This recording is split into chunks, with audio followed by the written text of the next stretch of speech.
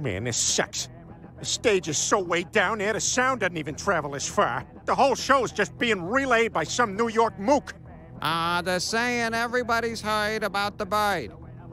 And it goes on and so forth. Okay, now they're saying what the word is. Bird. It's bird. Well, may as well take a terrible faraway stage picture that I'll never look at again. Ah, Cleveland Joe and Quagmire are having such a good time. With Brick? Crap, now they're getting pulled up on stage to sing together. Surely they won't be given inflatable electric guitars. Oh, they're being given inflatable electric guitars. Oh, man, and now the early reviews are coming in. It's... it's like Brick Baker has taken my friends away from me. Now, what's this? An unsolicited email from a local mom I have a crush on?